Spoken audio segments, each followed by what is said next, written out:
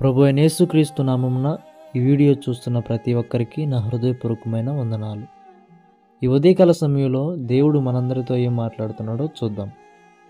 యోహాను రాసిన పత్రిక పద్నాలుగవ అధ్యాయము పంతొమ్మిదవ వచనం.